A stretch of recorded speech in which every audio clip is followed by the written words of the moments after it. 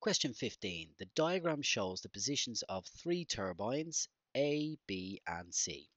It says that A is 6 kilometers north of B and C is 4.5 kilometers west of B.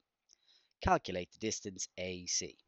Now, there's a few things I often tell my students. One is watch out for right angle triangles or things like it as you approach the uh, the last half of the paper. So around about question 15, I can see a right angle triangle here. I'm asked to calculate the distance AC. It's got to be Pythagoras. So uh, AC, AC squared must equal 4.5 squared plus 6 squared. Okay, this AC is the longest side. So the longest side squared must equal the sum of the two other sides squared. So that means that AC must be found by taking the square root of 4.5 squared plus 6 squared. So get the calculator out, get this guy to do all the hard work. We're going to take the square root of 4 5 squared plus 6 squared. In other words, you square both numbers, you add them together, and then you're going to take the square root. I'm going to take a calculator to do all the hard work there. We get 7.5. So the calculator tells me that AC is 7.5 uh, kilometers. I was about to write centimeters there out of habit. 4.5 kilometers. Let's get that information into the diagram 7.5 km.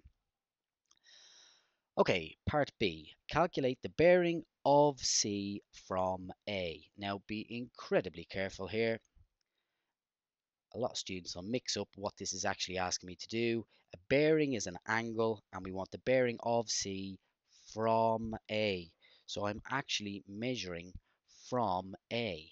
Okay, so I want to go from A to C, which is here and we always measure bearings clockwise from the north line. So in other words, it's asking me for this angle here. Okay, so we need to work out this angle here. Now, there's lots and lots of ways we could approach this. I know that this part of the angle of the bearing, the bearing of C from A, I know that that is 180 degrees. So I would very much like to know this angle here, okay, the angle at A, if you will, okay.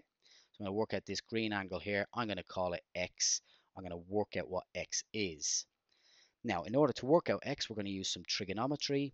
Uh, we're going to use SOHCAHTOA in particular, okay. So there's many ways we could approach this, but I'm going to use, let's see, the opposite and uh, in relation to the angle, this guy is the hypotenuse. So I'm going to use these two sides to help me calculate X.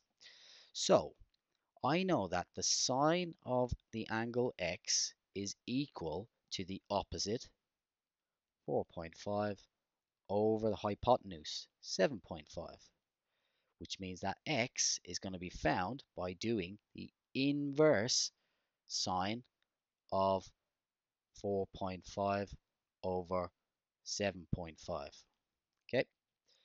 So let's get the calculator out. We're going to do shift sine, that gives me inverse sine of an angle. And the angle is, or uh, not an angle, a fraction. 4.5 over 7.5. Come outside that bracket and fill the bracket. Hit equals, we get 36.869. Okay, let's go to the nearest degree because that's what it said in the question. Give your answer correct to the nearest degree. So to the nearest degree, this is going to be 37 degrees. So we get 37 degrees. So I know x is 37. We know that the blue part is 180. So that means the bearing is going to have to be 180 plus the 37. So adding 37 on, we're going to get 7. 3 and 8 is 11. Carry the 1, we get 217 degrees.